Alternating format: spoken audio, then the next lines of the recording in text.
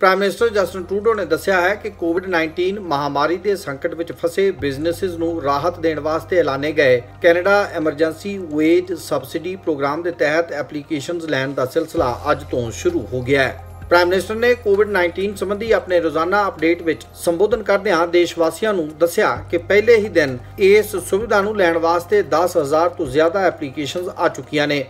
ਉਹਨਾਂ ਨੇ ਕਿਹਾ ਕਿ ਇਸ ਤੋਂ ਅੰਦਾਜ਼ਾ ਲੱਗ ਸਕਦਾ ਹੈ ਕਿ ਕਿੰਨੇ ਲੋਕਾਂ ਨੂੰ ਇਸ ਦੀ ਜ਼ਰੂਰਤ ਹੈ। ਕਿਸੇ ਵੀ ਕਰਮਚਾਰੀ ਨੂੰ ਮਿਲਣ ਵਾਲੀ ਤਨਖਾਹ ਦੇ ਪਹਿਲੇ 58700 ਡਾਲਰਸ ਦਾ 75% ਹਿੱਸਾ ਫੈਡਰਲ ਸਰਕਾਰ ਵੱਲੋਂ ਅਦਾ ਕੀਤਾ ਜਾਵੇਗਾ, ਜਦੋਂ ਕਿ ਬਾਕੀ ਦੀ ਤਨਖਾਹ ਉਸ ਕਰਮਚਾਰੀ ਦੇ EMPLOYER ਵੱਲੋਂ ਅਦਾ ਕੀਤੀ ਜਾਵੇਗੀ। ਜਿਹੜੇ ਕਰਮਚਾਰੀ ਦੀ ਤਨਖਾਹ ਉਸ ਦੇ EMPLOYER ਵੱਲੋਂ ਹੁਣ ਫੈਡਰਲ ਵੇਜ ਸਬਸਿਡੀ ਦੀ ਸਹਾਇਤਾ ਨਾਲ ਅਦਾ ਕੀਤੀ ਜਾਵੇਗੀ, ਉਹ ਕਰਮਚਾਰੀ CERB ਤਹਿਤ ਮਿਲਣ ਵਾਲੇ ਫਾਇਦੇ ਨਹੀਂ ਲੈ ਸਕੇਗਾ। ਇਹ ਪ੍ਰੋਗਰਾਮ 15 ਮਾਰਚ ਤੋਂ ਸ਼ੁਰੂ ਹੋ ਕੇ 3 ਮਹੀਨਿਆਂ ਤੱਕ ਲਈ ਚੱਲੇਗਾ।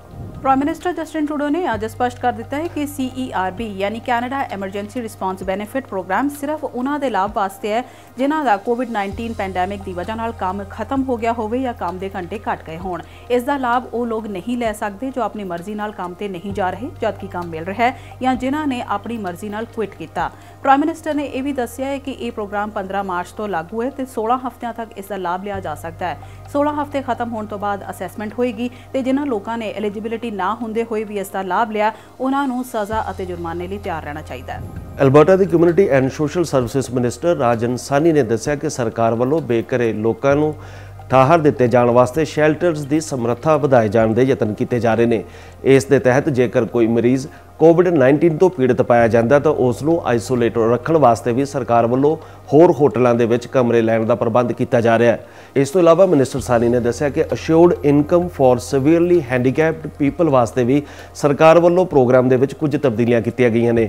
ਇਹਨਾਂ ਲੋਕਾਂ ਨੂੰ ਜੇਕਰ ਕਿਸੇ ਹੋਰ ਪਾਸਿਓਂ ਕੋਈ ਆਰਥਿਕ ਸਹਾਇਤਾ ਮਿਲਦੀ ਹੋਵੇ ਤਾਂ ਇਸ ਏਸ਼ ਦੀ ਰਾਹਤ ਰਾਸ਼ੀ ਵਿੱਚ ਕਟੌਤੀ ਕਰ ਦਿੱਤੀ ਜਾਂਦੀ ਹੈ।